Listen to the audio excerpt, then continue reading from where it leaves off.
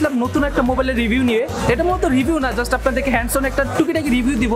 আর যেটা হচ্ছে বর্তমানে নতুন নতুন একটা মোবাইল ভিভোর একটা মোবাইল যেটা হচ্ছে ভিভো ভি সেভেন্টিন সো আপনার হয়তো অনেকেই নাম শুনছেন ভিভো ভি সেভেন্টিন নিয়ে। আজ আমি সেই মোবাইলটা টুকিটাকি আপনাদেরকে একটা রিভিউ দেওয়ার চেষ্টা করব। ও কোথায় আসলে এটা আপনারা কম প্রাইস মধ্যে পাবেন। ও এর বিস্তারিত প্রাইস সহ সকল কিছু আপনাদেরকে দেখানোর চেষ্টা করব। তো তার জন্য আমি বর্তমানে চলে আসছি মোবাইল নেটওয়ার্ক এটা হচ্ছে বসুন্ধরার লেভেল সিক্স ব্লক এ স্বপ্ন সিক্সটি থ্রি নাম্বার দোকান। সো এই শপে যদি আসেন আপনারা এই মোবাইলের পাশাপাশি যে কোনো মোবাইল পেয়ে যাবেন।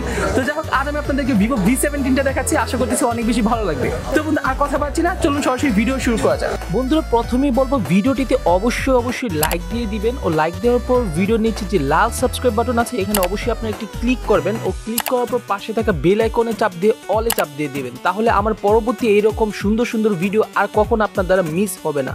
তো ওকে ফ্রেন্ডস আপনারা শপে আসলে কিন্তু এখানে সোহাগ ভাইকে পেয়ে যাবেন। তো সোহাগ ভাই আজ আমাদেরকে যে ভিভো ভি সেভেন্টিন আছে এটার একটা আনবক্সিং ও পাশাপাশি এটার প্রাইস সকল কিছু আমাদেরকে বলে সাহায্য করবেন। মোহাম্মদ সোহাগ ভাই আমরা শুরুতে বললি একটু আনবক্সিং করে দেখাই তারপর বিস্তারিত সকল কিছু দেখাচ্ছি আপনাদেরকে। পাবেন আপনার আছে। আচ্ছা শুরুতে আমরা এখানে একটা কেবল পেয়ে যাব যেটা হচ্ছে আমাদের এই কভারের সাথেই থাকবে। এবং এই এখানে সিম ইজেক্টর আছে এবং এইখানে হচ্ছে ম্যানুয়াল আছে। এবং এটা হচ্ছে আমাদের ব্যাক কভার পর আসতেছে আমাদের মোবাইল আমাদের মোবাইল দেখার আগে আমরা একটু আমাদের ভিতরে বক্সের মধ্যে দেখে নিই। আমরা চার্জারটা কত ওয়াটের পাবো? চার্জারটা আঠারো ওয়াট আঠারো ওয়াটের ফার্স্ট চার্জার কিন্তু এটা মোটামুটি ফার্স্ট চার্জার বলা চলে। একটা একটা ইয়ারফোন পেয়ে যাব। এটা হচ্ছে ভিভোর একদম অরিজিনাল ইয়ারফোন এটার সাউন্ড কোয়ালিটি মোটামুটি ভালোই আছে। আচ্ছা বন্ধুরা মোবাইলটা কিন্তু আমি পূর্বেই ওপেন করছি। ওপেন করে আমি এখানে কিছু ছবি তুলছি ও পাশাপাশি আমার ফিঙ্গারপ্রিন্ট সেট আপ করছি। যাতে করে আপনাদেরকে যখন দেখাবো তখন যাতে ইজিলি আপনারা বুঝতে পারেন যে এটাতে আসলে কি আছে। তো আমি শুধু আপনাদের একটু ফিঙ্গারপ্রিন্ট চেষ্টা করে দেখাই। ওয়াও ফিঙ্গারপ্রিন্টটা কিন্তু অনেক ফাস্ট আমি আপনাদেরকে আবার দেখাচ্ছি ফিঙ্গারপ্রিন্টটা বাহ সুপার ফাস্ট আরেকবার। ভালোই লাগছে। ফিঙ্গারপ্রিন্ট অ্যাটলিস্ট ফাস্ট আছে। এবং এতে যে ডিসপ্লে ইউজ করা হয়েছে, সেটা হচ্ছে সুপার অ্যামোলেড ডিসপ্লে আর এতে ফেস ফেস আনলকের একটা বিষয় আছে। আমি একটু ফেস আনলকটা করে নিই। ভাই নেস না রে ভাই। তো আমাদের ফেস আনলক কিন্তু অলরেডি নিয়ে নিছে। ওকে এবার একটু ফেস আনলকটা একটু টেস্ট করি। এটা ফেস আনলকটা একটু টেস্ট করি আমি। ওয়াও মানে একদম ফাস্ট ফেস আনলক আবার দেখাই যে এখন অফ আছে, আমি জাস্ট পাওয়ার বাটনে একটা চাপ দেবো। একদম ফাস্ট আবার দেখাই। মানে ফেস আনলক ও পাশাপাশি যেই ইনডিসপ্লে দুটোই ফাস্ট এবার এটা ক্যামেরাতে একটু যাওয়া যাক। তো ওকে ফ্রেন্ডস এবার একটু ক্যামেরাটা একটু যাওয়া যাক। আমি পূর্বে এটাতে কিন্তু অনেকগুলো ছবি তুলে রাখছি আপনাদেরকে দেখানোর জন্য। তো এটা হচ্ছে যে প্রাইমারি বারো মেগাপিক্সেলের ক্যামেরার ছবি, কিন্তু এটাতে ফোর্টি এইট মেগাপিক্সেল দেওয়া আছে। আপনার চাইলে এক্সট্রা বাই ফোর্টি এইট মেগাপিক্সেলের ছবি তুলতে পারেন। তবে এটাতে যদি ডিটেলস বলতে চাই, বারো মেগাপিক্সেলের তেমন খারাপ না। অ্যাটলিস্ট ছবির কালারটা সুন্দর আছে। এই সাইডে যদি আমি দেখাই ফ্রন্টে ফ্রন্টেও মোটামুটি ঠিক আছে, তবে একটু বেশি এক্সপোজ দিয়ে দিছে। এবং এই সাইডে যদি আমি আপনাদেরকে ভিডিও দেখাই, এর ভিডিও কোয়ালিটি আমার কাছে মোটেও ভালো লাগে নাই, কারণ ভিডিওতে এটাতে প্রচুর পরিমাণে এক্সট্রা আলো দিয়ে দেয়, যেটা আমার মোটেও প্রয়োজন নাই। এটা হয়তো আপনার ক্যামেরা বুঝতেছেন না বাট বাস্তবে ভিডিওটা দেখতে আমি নিজেই তেমন মজা পাই নাই। কিন্তু ফ্রন্টের ভিডিওটা ঠিক আছে মোটামুটি। তো ব্যাক সাইডে দেখতে পাচ্ছেন, তবে ব্যাক সাইডে যদি সিক্সটি এফ পেসে ভিডিও করেন, সেটা কিন্তু অনেক কালারফুল হয়, এবং সিক্সটি এফ পেসটা মোটামুটি স্মুথ আছে। আরও কিছু ভিডিও দেখাই।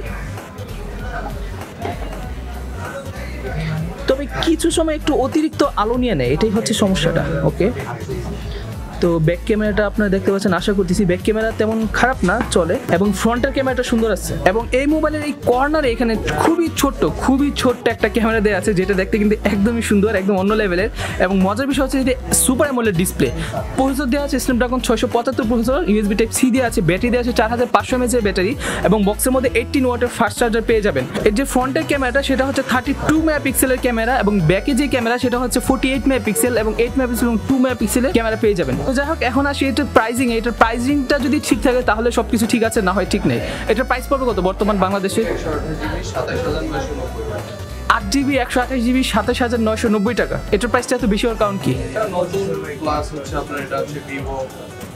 তো ফ্রেন্ডস আমি মনে করি মোবাইলটা সব দিক দিয়ে ঠিক ছিল, শুধুমাত্র প্রসেসরটা কম দিয়ে দিছে। এই প্রাইস রেঞ্জের মাঝে এই রকম একটা ছয়শো পঁচাত্তর প্রসেসর আমি মনে করি মোটো ঠিক না। তবু আপনারা কি মনে করেন? বাকি বিস্তারিত ওভারঅল সব কিছু দিয়ে এটা কি আঠাশ হাজার মধ্যে ঠিক আছে নাকি ঠিক নেই সেটা অবশ্যই আপনার কমেন্ট করে দিবেন। এটা শুধুমাত্র ওনার কাছে না, এটা সম্পূর্ণ বাংলাদেশে আঠাশ, উনত্রিশ, তিরিশ হাজার বিক্রি হচ্ছে।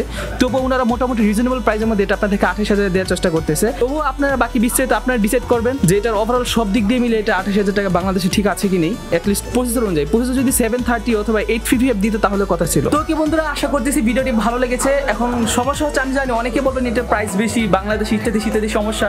আমি তাদেরকে বলব এটা শুধুমাত্র ওনার কাছে না এটা বাংলাদেশে আপনি যে কোনো প্রান্তে যান না কেন এটার প্রাইসটা আরও বেশি রাখা হবে।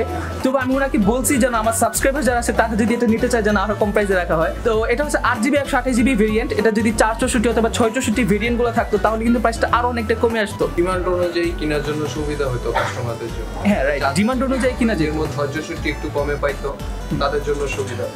এটা যদি চার চৌষট্টি বা ছয় চৌষট্টি হতো সেক্ষেত্রে আমি মনে করি প্রাইসটা বাইশ তেইশের মধ্যে চলে আসতো। তখন কিন্তু যে কেউ নিতে কিন্তু আট জিবি একশো আঠাশ জিবির তুলনামূলকভাবে প্রাইসটা একটু বেশি হয়ে গেছে।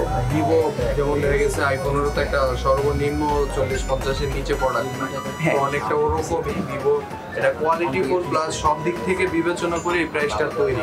আর এটা যারা সাধারণত ডিসাইড করবে বাজেট প্রিপারেশনটা নিয়ে এটার প্ল্যানিং হ্যাঁ অবশ্যই। তবু বন্ধুরা আমি আপনাদেরকে বলব যারা কিনা আঠাশ হাজার টাকা বাজেটের মোবাইল নিতে যাচ্ছেন তারা কিন্তু রিয়েলমি এক্স টু অথবা রেডমি কে থার্টি অথবা এমআই নাইনটি এই মোবাইলগুলো কিন্তু আপনারা দেখতে পারেন। এই প্রাইস রেঞ্জের মাঝে। তবু এটা খারাপ না যাদের প্রসেসর নিয়ে কোনো সমস্যা নাই তারা এই মোবাইলটা দেখতে পারেন। বাকি বিস্তারিত সকল কিছু আপনার কমেন্ট করে দেন কেমন লাগল এবং পরবর্তীতে কি মোবাইলের রিভিউ কি মোবাইলের প্রাইস জানতে চাচ্ছেন সেটা অবশ্যই কমেন্ট করে দিবেন। আর কি মোবাইল কেনা হলে অবশ্যই আপনি ভিজিট করতে পারেন মোবাইল নেটওয়ার্ক ওনাদের সকল কিছু ভিডিও ডিসক্রিপশন দেওয়া আছে আপনি অবশ্যই চেক করে নেবেন। সবাই ভালো থাকবেন আসসালামু আলাইকুম। Tata bye bye.